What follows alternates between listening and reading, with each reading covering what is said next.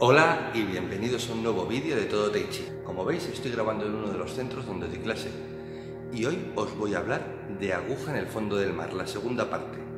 ¿Por qué? Porque de este movimiento hay mucha tela que cortar y mucha información que daros.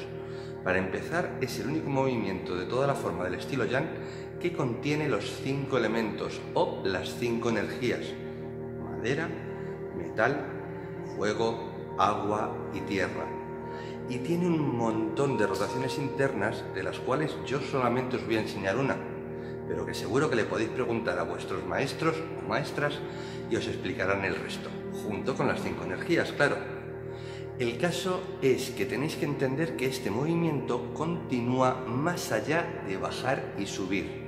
Bien, se prolonga hacia adelante y luego da la media vuelta. Como podéis ver, las rotaciones son muy sutiles y por eso os remito a la persona con la que habitualmente entrenáis. Como veis, el movimiento viene desde grulla blanca abre alas, modifica la estructura de la primera parte y tenemos un movimiento ligeramente distinto que es un golpe al ganglio axilar.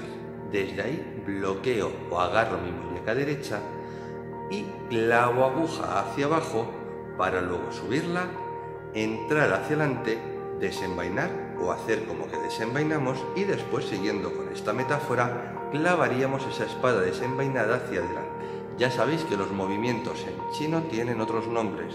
Yo me los invento para que en mis clases a las alumnas y al error estadístico de alumnos les sea más fácil aprenderlos y recordarlos, ya que como ninguno hablamos mandarín, nos perdemos la parte poética que acompaña toda la nomenclatura del Tai Chi.